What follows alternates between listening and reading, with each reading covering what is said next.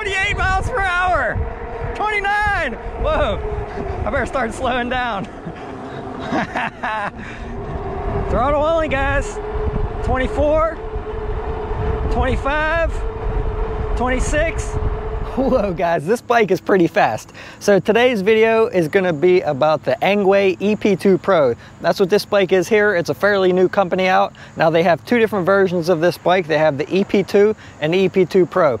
There's a few things I want to mention in this video before we get started, and then we're going to do a very quick unboxing and show you guys what's involved in the assembly, and then we're going to hop on this bike, see what kind of speed we can get out of it, and go through all different PAS levels to see what their speeds are. Then we're going to take it up some hills and test out the power of this bike. Now the one thing that I want to mention is when they sent me this bike, I was a little bit confused because the fenders were a little bit different on it. They were a little bit floppy and it didn't say Pro on the bike, but they did confirm with me that this is the Pro model that they did send me. However, the bikes that are shipped out now are coming with the metal fenders that are seen on their website and they do have the support brackets. So just keep that in mind throughout the video, guys. And another thing I want to mention is right now, currently, this bike's about $1,200 on their website and they have a coupon for 200 off, but they did provide me with a coupon for $250 off that you guys can take advantage of and get this bike for around $950. So make sure you take advantage of that coupon code and I'll leave it down below in the description of this video as well. Now they did send me this bike for free for testing and review, but we are gonna put it through its paces today and see what kind of power and speed this bike has and if it's worth the $950 that you can currently get it for with my coupon code. As always guys, I'll leave down below in the description timestamps for any specific spot in the video that you guys wanna jump straight to. So let's go ahead and get into it and see what this bike can do. Whew. Oh yeah, don't forget to subscribe and hit that bell if you find this video interesting. Please leave a comment below and share this video. It really helps my channel out a lot. Let's get into it. All right guys, look at this thing. I'm unboxing the Engwe and I'm really impressed with this packaging. Look at this. This whole bike is spray foamed in this box. That's crazy, but I wish every e-bike company would ship bikes like this because you know how much money that would save them in damages from having to replace parts that get bent up during shipping? I mean, that's pretty awesome there for the little bit that it cost them to do each package like this, man, that probably saves them a ton. Let's get this thing out of the box and see what it takes to put it together, and then we're gonna hop on it and see what this baby can do.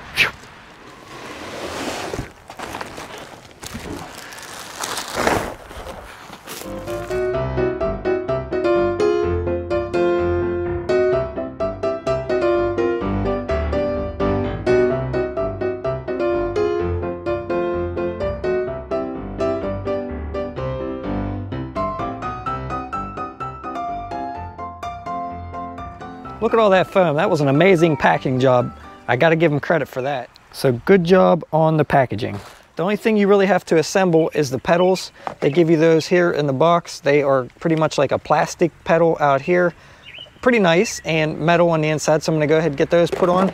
And they do give you a nice toolkit here for adjusting your brakes, putting the pedals on and just adjusting things like that. So it is nice that they do give you a few tools in case you don't have a set. And then you also get the charger here, which is a 54.62 amp charger.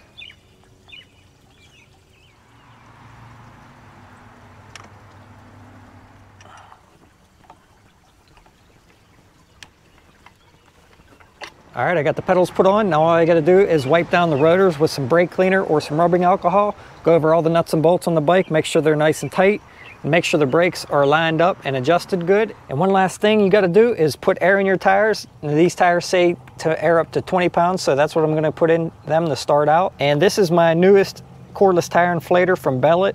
If you guys are interested, I'll put a link down below. This one had eight pounds in it, so you definitely wanna make sure you put air in there so you don't get any pinch flats. All right guys, so now let's take a look at the Engwe EP2 Pro 20 inch folding fat tire e-bike. Up here on the handlebars, we have a set of hard rubber grips that do seem a little stiff, so I will be changing those out to a set of silicone foam grips like I did with my other bikes. On the left-hand side, we have the control pad for turning the bike on and adjusting your PAS levels from 0 to 3, all the way up to 0 and 9 if you change that in your display settings. Next to that, we have a nice little bell. It is cheap, but it does work. In the center is where we have the display panel, which shows you your speed, your PAS levels, and at the bottom you can toggle through your trip, your odometer, your max speed, and your average speed.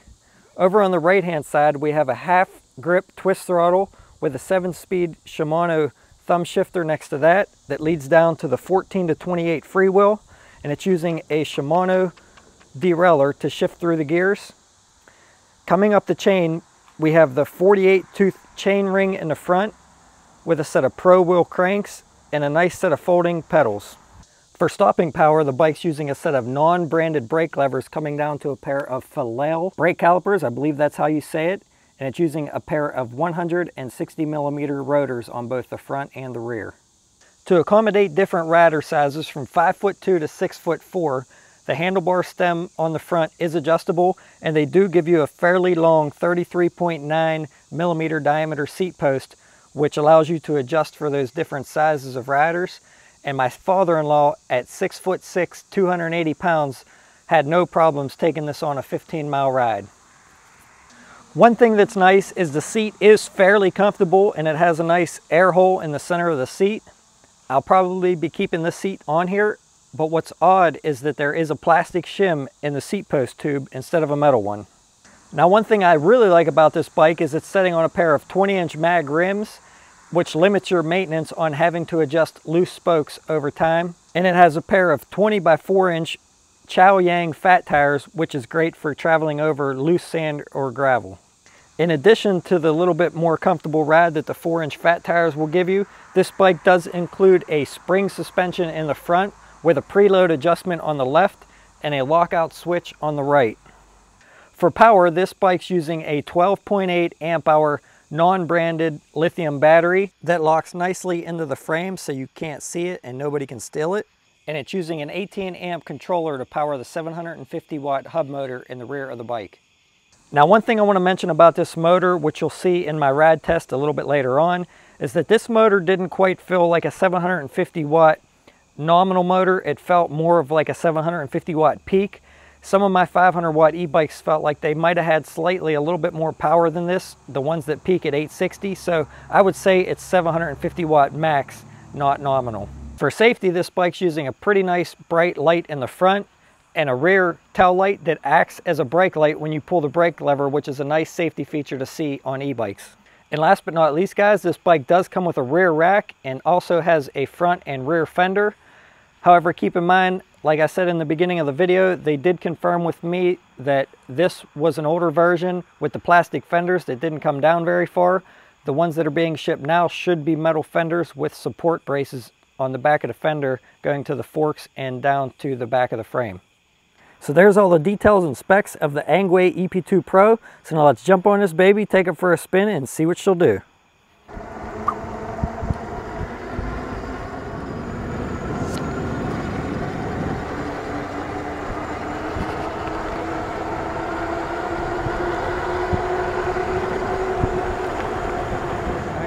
We're gonna go through all the different PAS levels and see how fast this bike is in each level. So right now I'm in PAS level one and the speed is about six miles per hour.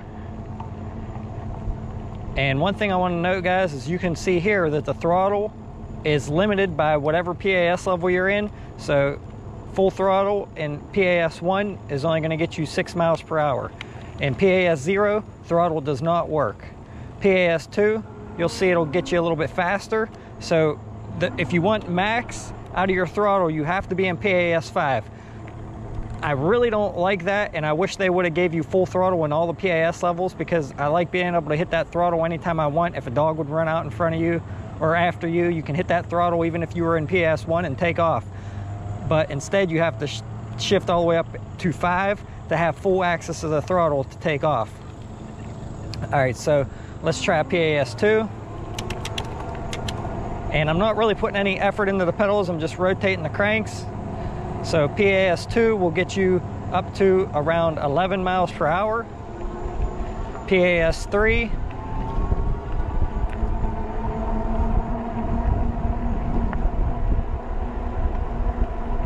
will get you up to 15 miles per hour. PAS4.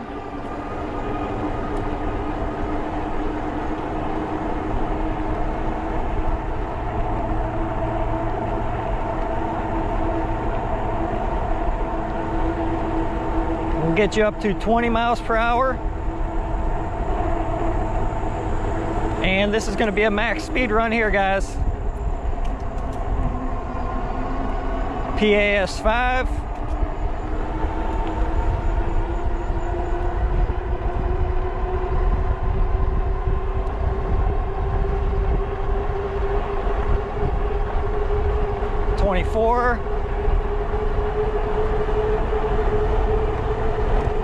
26. I need a longer stretch, guys. I ran out of stretch.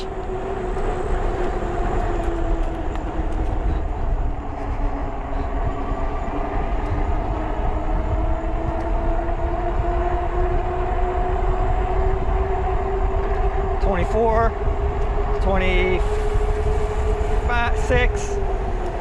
Hey guys, I ran out of runway there, but if I had longer, straighter distance, I'm pretty sure I can get over 26. This bike is super fast when it comes to uh, it not being limited. I mean, it's not limited to a class two bike. It's crazy. It come out like that, it came like that out of the box. And I asked them if being that the fenders were different on this bike, if anything else was different, and they said no. So I'm assuming that all the models that are being shipped are going to be like this. Now, one thing I do want to mention is it does take a while to get up to that speed, but for it to go past 20 miles per hour or even 22 miles per hour, that's pretty, pretty nice. So let's just do throttle only.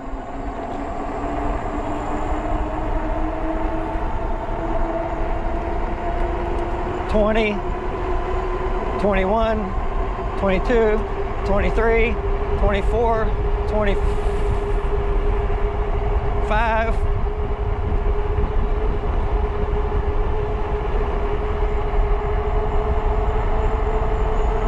26, 27. So, so 27, and I was still gaining. I never really felt the motor cut out at all. So I'm not quite sure this bike's even limited, but easily 25 miles per hour easily with throttle or pedal assist. So this bike's really fast.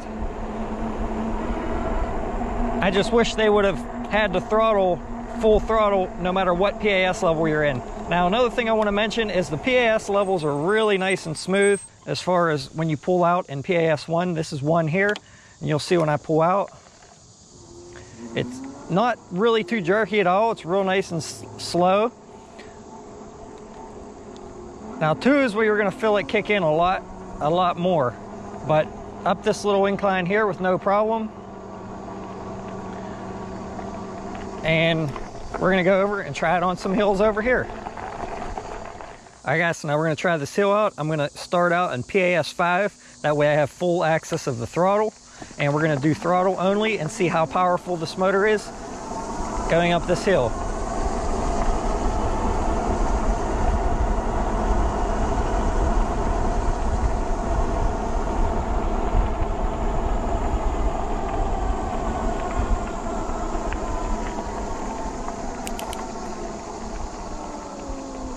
and that's about it. It's dying down pretty good, so I'm gonna start pedaling there.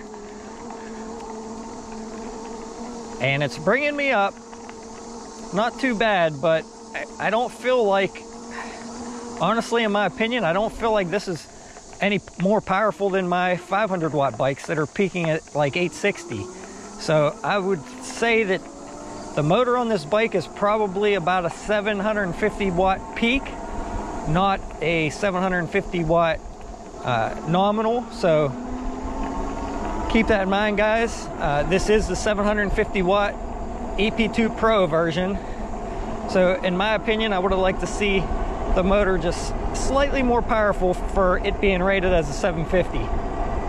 So let's go over here to the steeper, or well, it's not steeper, but it's a lot longer of a hill. And we're gonna test it out coming up that and see how it does.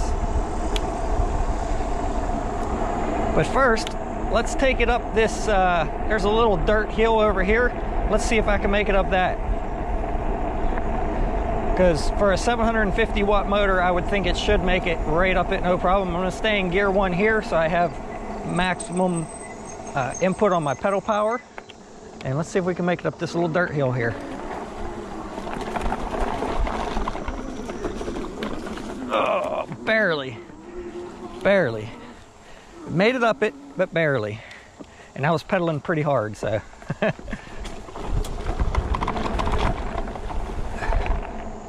All right guys, so now we're gonna go up this long hill here and we're gonna do throttle only, see how far we can make it and see how easy it takes me up that.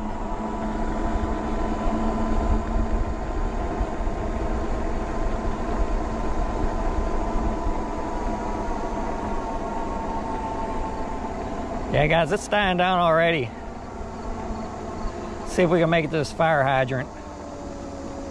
Uh, I mean, it's pulling me, but man, I would have expected a little bit more out of this motor for it being a 750 watt. Like I said, I feel like my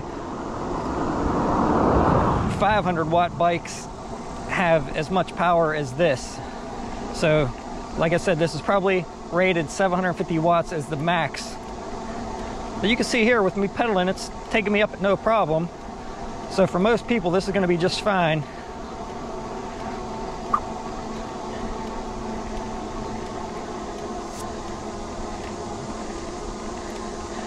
And I usually do help my 500 watt bikes up some hills. I usually do help pedal it for two reasons. One is because I like the exercise and two is it saves battery power and is healthier for the bike and the motor and the controller. All right, so let's just do some throttle only here and see how fast we can get it up to.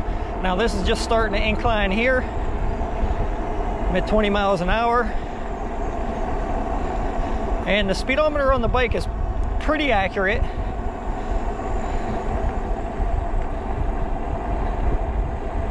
It pulled me up that little incline, no problem with just throttle. Let's see what we can get to here. This is just a slight downhill.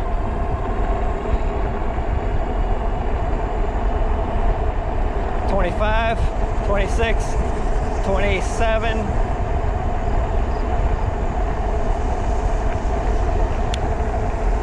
So 27 miles an hour, guys, and I didn't even really feel the motor cut out on me at all. That's crazy.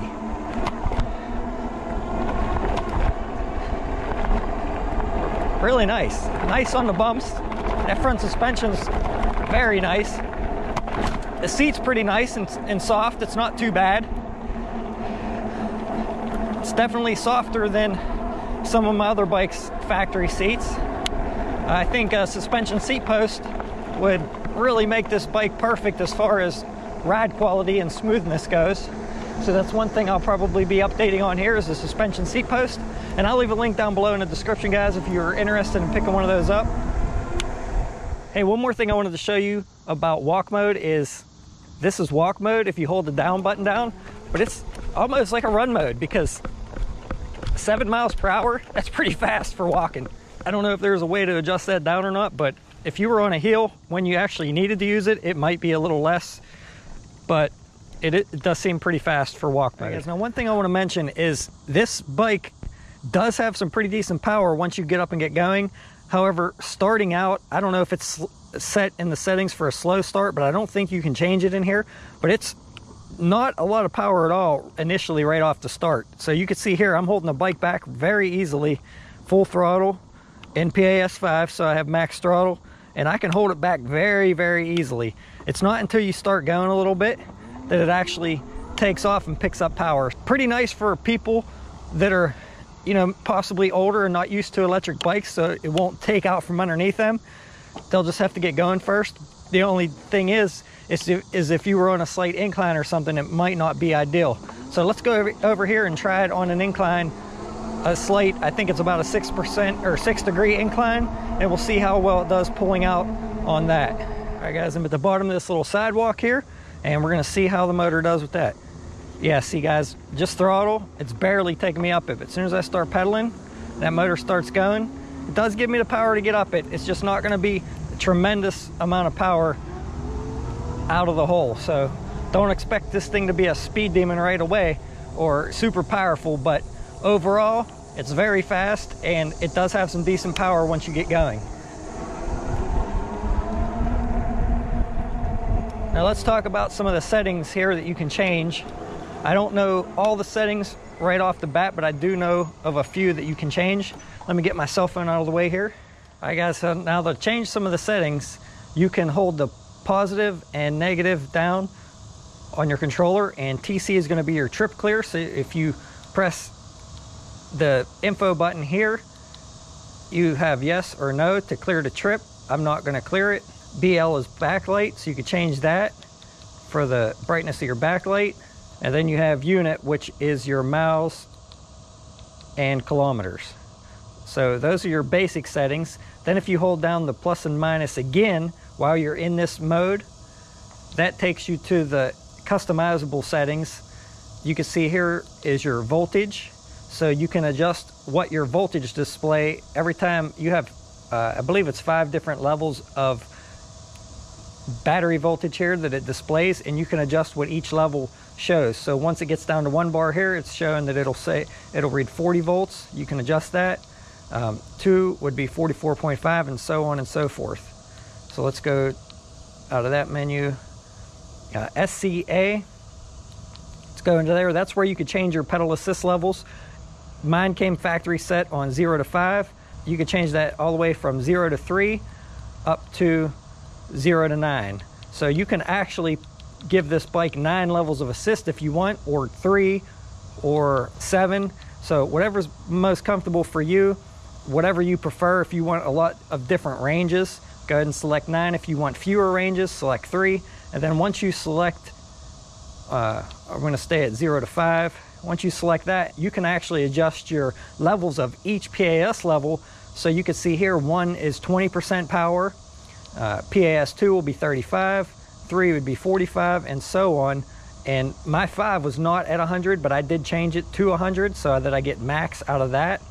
So that's really, really nice that they allow you to change these different PAS levels to suit your need because, uh, you know, some older riders want, might want a slower start on some of the lower levels. Or if you're riding with somebody that either doesn't have an electric bike or has one that is not as adjustable as this, you can go in there and match some of their speeds. Uh, even a different brand bike, you can go in there and match some of their PAS levels. So if you're riding, you can ride side by side with them, say on a bike trail or whatnot, and it's not a constant forward and back. So that's very, very nice that they do let you change these settings. Then you have your current, mine's set at 20, I'm not gonna mess with that. You have your pedal assist, set to forward, you don't wanna change that. Um, that's your magnets. I wouldn't mess with any of that. A lot of these other settings, I'm not quite sure what they are yet, guys, so I'm gonna have to dig into that and figure it out.